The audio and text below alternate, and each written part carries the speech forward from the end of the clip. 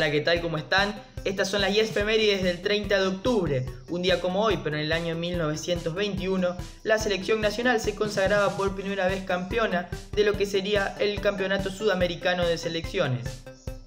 Esta competición, que hoy conocemos como Copa América, era el principal torneo internacional de fútbol por selecciones nacionales en América del Sur.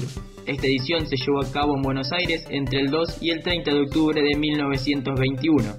Esta fue la segunda vez que se jugaba en Argentina. La primera vez fue cinco años antes.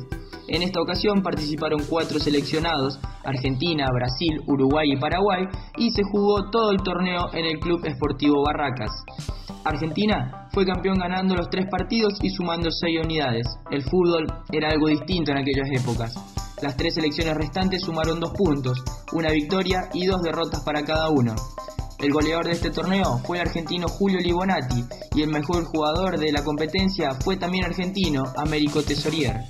Sin dudas, una fecha muy importante para la historia del fútbol argentino. Esta fue la IES Femérides del 30 de octubre. Hasta luego.